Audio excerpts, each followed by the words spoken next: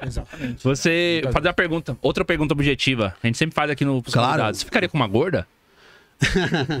Ótima pergunta. Já fizeram pra você essa pergunta? Muito boa essa pergunta. Sai, sai cancelamento.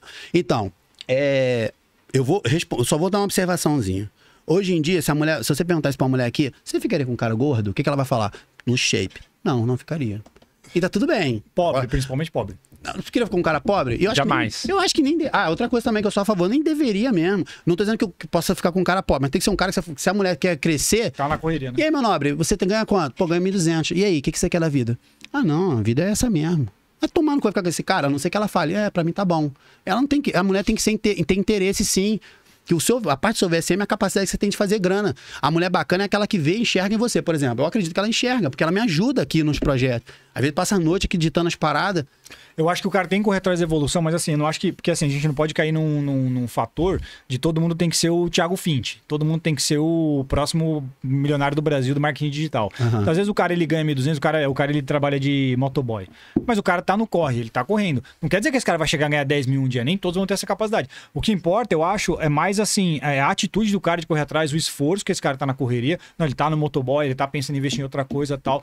Não quer dizer que esse cara um dia vai ganhar vintão, vai ganhar tudo isso. É. Mas ele vai melhorar. Ele tá, ele tá procurando melhorar. a no- tendência é que dentro- melhore, hein? A tendência é que ele melhora. Isso que é importante, É, entendeu? e pra não deixa eu só responder. Mas Não- e a? É, é, porra, é só você ver.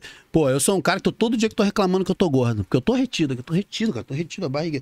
Então, assim, é interessante que eu tenha alguém também que tente, porra, né? Ter, a pessoa, né? Primeiro que eu. Só pra te responder o objetivo, você faz a pergunta de novo. Tá. Saldanha, você ficaria com uma gorda? Então, não ficaria com uma gorda, nem com uma magra, nem com. Porque eu já tenho a minha mulher. Então, acabou a conversa. É, ele já saiu bem. Pronto, é, saiu bem. ponto. Agora, é óbvio que, que um, cara, um cara que solteiro, que, porra, treina, não sei o quê, provavelmente não vai ficar com uma mulher gorda e ele não tem que ficar mesmo se ele não quiser. E a Se mulher não também. quiser. E foda Não precisa Simples. pisar na não mulher, quero ficar com precisa- mulher gorda, não quero É. ficar com mulher magra, não quero ficar com. Aí sabe que eu fico puto? Eu já fico logo puto. Não quero ficar com uma mulher magra, um exemplo. Ele tá se esforçando pra gostar da mulher.